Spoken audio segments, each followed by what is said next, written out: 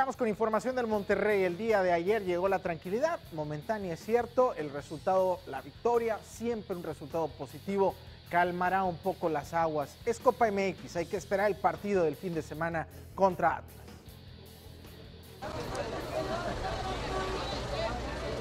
No trae nada de cinturones, no trae cinturones, así.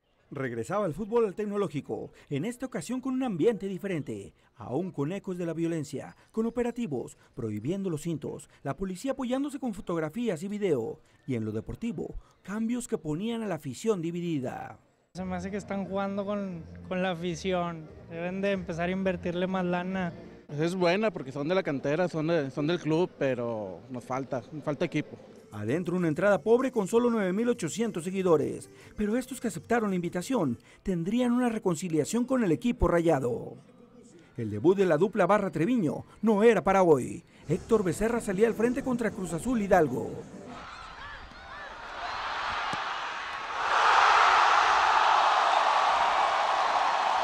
Después de 20 minutos de llegadas, Ulises Briseño abrió el marcador. Se pronosticaba una victoria, pero también una noche de estrenos, como la de Wilson Morelo, minutos más tarde.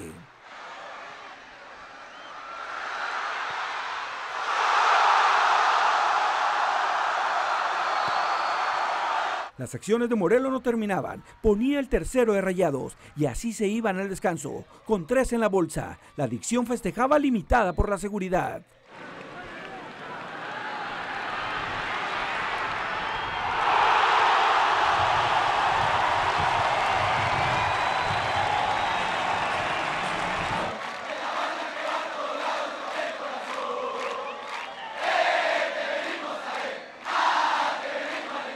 Segundo tiempo, algunos esperando la entrada del hijo del cabrito, incluso Arellano en las gradas. Pero no, al menos hoy no veríamos la continuación de la dinastía. En cambio, las redes de los hidalguenses recibían otro tanto.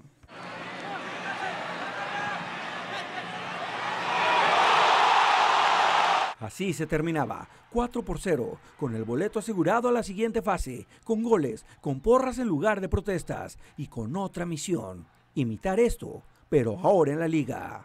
Pedro Caballero, Noticieros, Televisa.